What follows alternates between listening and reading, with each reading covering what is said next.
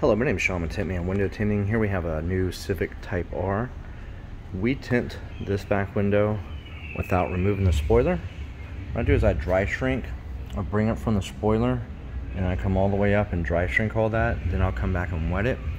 And then you'll notice I have this flapped over the spoiler.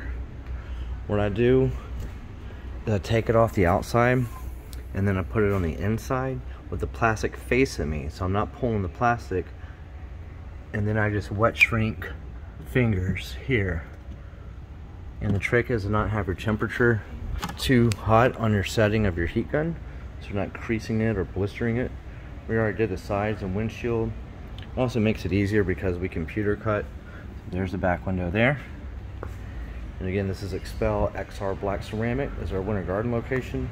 We're also located in Longwood and Winter Park. You can learn more at tintmanfl.com.